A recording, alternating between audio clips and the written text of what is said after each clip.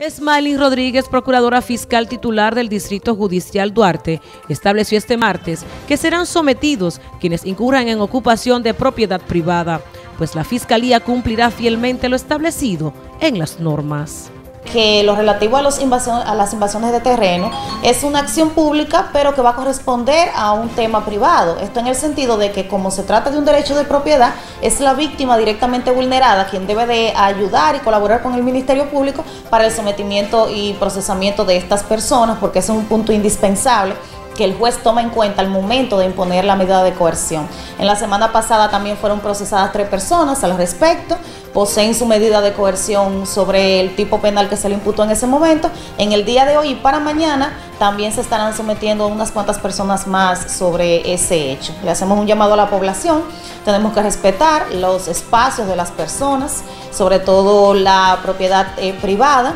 y eh, la realidad es que independientemente la Fiscalía cumplirá con el rol que le corresponde, que es procesar al ciudadano que violente lo que establece la norma legal.